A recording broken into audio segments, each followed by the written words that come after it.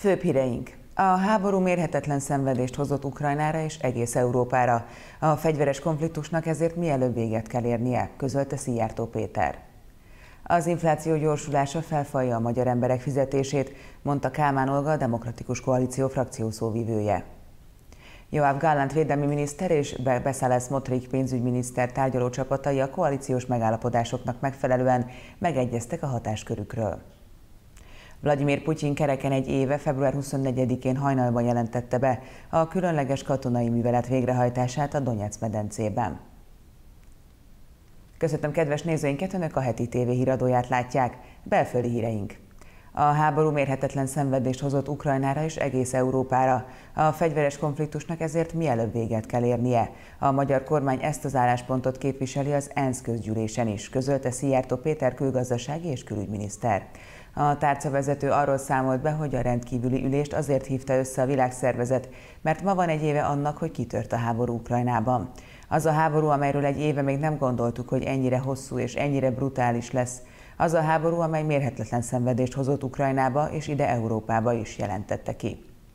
Hozzátette, a magyar emberek már eddig is rendkívül magas árat fizettek, itt az infláció, az energiaárak, az élelmiszerárak is az egekbe emelkedtek, és az ukránok mellett nagyon sok magyar is meghalt, tette hozzá. Szijjártó Péter leszögezte, mi nem akarjuk azt, hogy további emberek essenek ezen háború áldozatául, nem akarjuk azt, hogy még több ember halljon meg, hanem azt akarjuk, hogy ez a háború azonnal érjen véget, legyen minél előbb tűzszünet, legyenek minél előbb béketárgyalások, mert az emberéleteket csak így lehet megmenteni. Az infláció gyorsulása felfalja a magyar emberek fizetését, mondta a Demokratikus Koalíció frakció szóvivője. Kálmán Olga elmondta, hogy idén januárra 25,7%-ra nőtt az általános drágulás mértéke, az élelmiszerek ára pedig 44%-kal emelkedett. Papíron hiába emelkednek a keresetek, ha a kormány nem képes megfékezni a történelmi mértékű élelmiszerdrágulást, ha nem akarja megszüntetni a hétszeres rezsiemelést, fogalmazott a képviselő kijelentve, csak az Európai Uniós pénzek hazahozatala, a magyar gazdaságba vetett bizalom visszaszerzése és az euró befizetés céldátumának kijelölése állíthatja meg a Kálmán Olga által megfogalmazott Orbáni inflációt. A Fidesz szerint az európaiak a magyarok biztonságát és jólétét az, a háború párti politika és szankciós infláció falja fel, amit többek között a DK is képvisel, állították a párt közleményében. Igen, példamutató és bátor döntés volt az amerikai elnöktől, hogy Kijevbe látogatott, mondta Jeszenszki Géza, volt külügyminiszter nagykövet a heti TV Pirkada című műsorában. Hozzátette, számos európai vezető már járt Ukrajnában, de a világ vezető hatalmának elnöke egy egészen más eset. Azért is volt fontos a látogatás, mert Biden nem csak a fegyverek tekintetében ígér támogatást, hanem azt is leszögezte, hogy két párti az a pozitív hozzáállás, amit az amerikai politika tanúsít Ukrajna irányában. Ez mindenképpen jelentős és fontos gondolat volt, tette hozzá a politikus. Az amerikai szándékok mindig is egyértelműek és pozitívak voltak. Természetesen a 20. században akadhatott olyan helyzet, legyen szó a 60-as évek irányáról vagy a mostani Afganisztáról, ahol a kivitelezésben akadtak problémák, ugyanakkor egy dolgot le kell szögezni, az Egyesült Államok nem hagyja magára Ukrajnát, mert Ukrajna küzdelme egyben az atlantista gondolkodás küzdelme is. Jeszenszki Géza szerint Amerika szövetségi rendszerben gondolkodik, partnerként tekinti a barátos országokra. Hozzátette az amerikai nagykövetek véleményei nem az országok belügyeibe való beavatkozásnak, hanem inkább egy baráti kritikának kell tekinteni, amit meg kell hallgatni.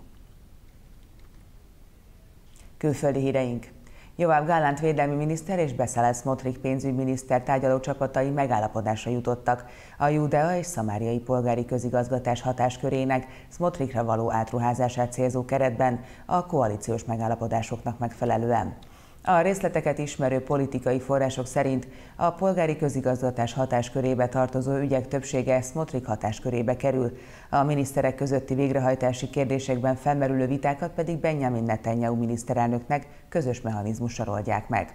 Gallant követelésének megfelelően abban is megállapodás született, hogy minden, ami a katonai erők tevékenységével kapcsolatos, továbbra is a központi parancsnokság vezetőjének felelőssége marad, és nem keletkezik kár a parancsnoki láncban. A polgári közigazgatás vezetője tiszt marad, helyettese civil lesz Motrik bizalmasának alárendelve, közölte a Kán közszolgálati műsorszolgáltató. Az illegális épületeket leromboló egység helyette, a helyettese alatt fog működni. Feladata lesz továbbá az építési tervezés és a telekönyvezetés. Az elmúlt hetekben Gállant és Smotrik emberei egyébként is több megbeszélést folytattak a hatáskörök átruházásával kapcsolatban, tekintettel arra, hogy a védelmi miniszter ellenzi a lépést. Vladimir Putyin kereken egy éve február 24-én hajnalban jelentette be, hogy különleges katonai művelet végrehajtását rendelt el a Donetsz medencében. Az orosz elnök egészen pontosan úgy fogalmazott, hogy nem szerepel tervei közt Ukrajna megszállása, ugyanakkor törekedni fog a náci mentesítésre és a demilitarizációra. A háború kezdetén szinte azonnal megkezdődött Ukrajnában a hadműveleti állományhoz tartozó tartalékosok behívása szolgálatra. A behívott a 18 és 60 év közötti korosztályba tartozó tartalékosok kaptak, tisztek, altisztek és közállományú katonaként leszereltek egyaránt. Senki nem számított arra, hogy a háború úgy el, így elhúzódik. Az ukránok mára már erőszakkal kényszer soroznak, az oroszok pedig mozgósítanak. A háború kezdete óta objektív források alapján legalább 12 ezer civil vesztette életét, köztük 500 gyermek és megközelítőleg 150 ezer ukrán, illetve nagyjából 175 ezer orosz katona halt meg. Az Európai Unió mindeközben már a tizedik szankciós csomaggal próbálkozik, azonban Putyin korábbi kijelentései alapján az orosz gazdaságot nem gyengítik nagy mértékben a szankciók. A háborúnak egyelőre senki nem látja a végét. A háború kitörése után egy évvel mintegy 82 ezer ukrajnai menekült él Hollandiában, harmaduk vissza akar térni hazájába, amit az ország ismét biztonságos lesz a Holland Statisztikai Hivatal friss felmérése alapján. A Hollandiában élő ukrajnai menekültek másik harmada inkább az országban maradna. A biztonsági helyzettel kapcsolatos aggodalmak mellett a hollandiai munkalehetőségek is jelentős szerepet játszanak megfontolásaikban. A további egyharmad még mérlegeli, hogy visszatér-e Ukrajnában. A felmérés szerint 16.700 menekült már visszatért hazájába. A többiek nagyrészt hollandiai nagyvárosokban, Amsterdamban, Rotterdamban, Hágában és Üterákban telepettek le. A lakosok számához viszonyítva az Üterák tartománybéli Renswood településen él a legtöbb ukrán menekült, ezer lakosra 33 fő jut. A cseh kormány újabb katonai segélyszállítmányt hagyott jóvá Ukrajnának, és továbbra is küldeni fog felszereléseket a készletükből, közölte a védelmi miniszter. A miniszter beszámolója szerint tavaly óta a hadsereg eddig 38 harckocsit, 55 páncélozott járművet, 4 repülőgépet és 13 önjáró löveget küldött. Emellett a minisztérium katonai egészségügyi anyagokat, valamint sugárvédelmi, vegyi és biológiai védelmi anyagokat, katonai felszereléseket, lőszert és alkatrészeket adományozott Ukrajnának. A prágai kormány szerdán döntött egy újabb szállítmányról Ukrajna számára, jelentette ki Kerhová, anélkül, hogy részletekbe bocsákozott volna.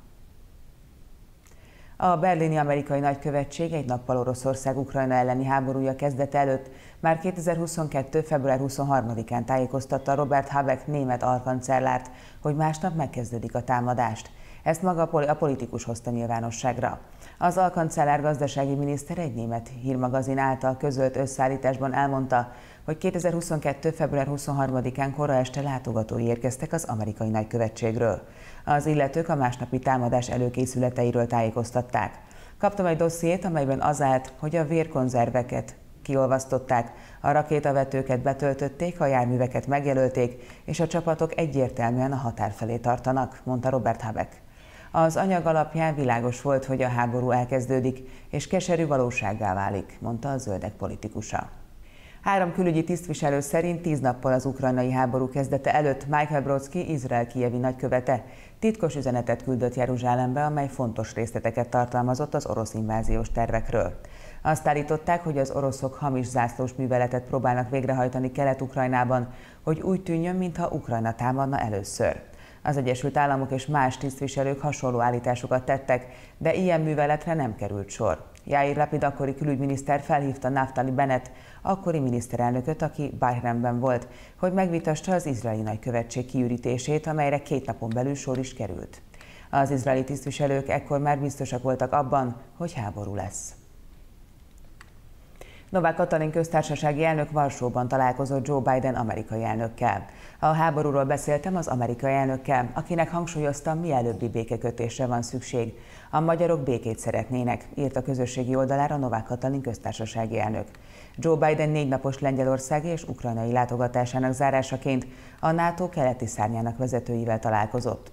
Varsóban tartott beszédében bejelentette, hogy újabb szankciókkal készülnek, valamint arról is beszélt, hogy jövőre a NATO minden tagját vendégül látja egy csúcs találkozón az Egyesült Államokban. Jens Stoltenberg, a NATO főtitkára azt mondta, hogy egy évvel a háború megindítása után látható, hogy Putyin elnök nem a békére, hanem további háborúzásra készül. Hozzátette, hogy azt nem lehet tudni, hogy a háború mikor ér véget, de utána biztosítani kell, hogy ne ismétlődjön meg a történelem. Bővebb információt a brailleklesz.com vagy a hetitv.com oldalon olvashatnak, most pedig pár mondat az időjárásról.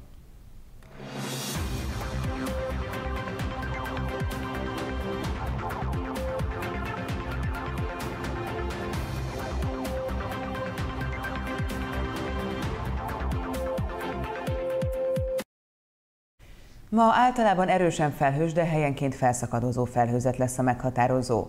Este egy mediterrán ciklon hatására mindenütt felerősödhet a szél. A hőmérséklet jellemzően 10-16 fok köré emelkedik. Én megköszönöm figyelmüket, további szép napot kívánok, viszontlátásra!